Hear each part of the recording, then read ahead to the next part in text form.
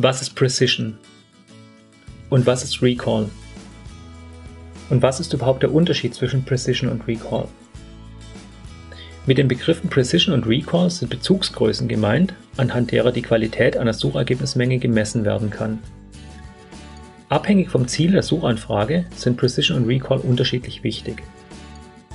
So kann es für einen Nutzer bei einer Suchanfrage besonders wichtig sein, schnell ein paar relevante Ergebnisse zu bekommen, während er bei einer anderen Suchanfrage auf jeden Fall ein vollständiges Ergebnis benötigt.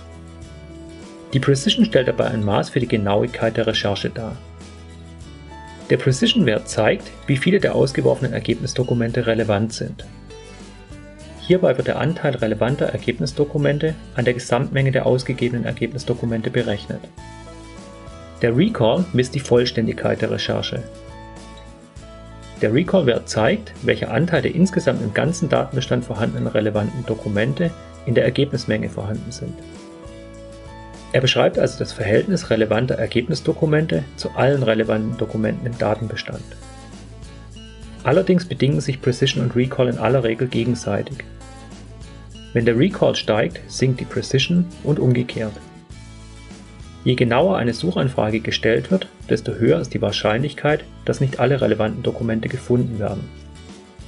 Legt man dagegen Wert darauf, möglichst alle Dokumente zu einer bestimmten Suchanfrage zu finden, steigt die Wahrscheinlichkeit für irrelevante Treffer.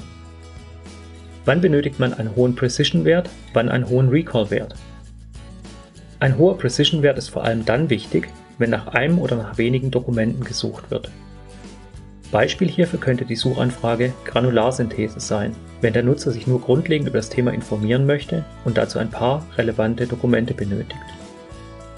Ein hoher Recall-Wert ist hingegen wichtig, wenn keine relevanten Dokumente übersehen werden dürfen.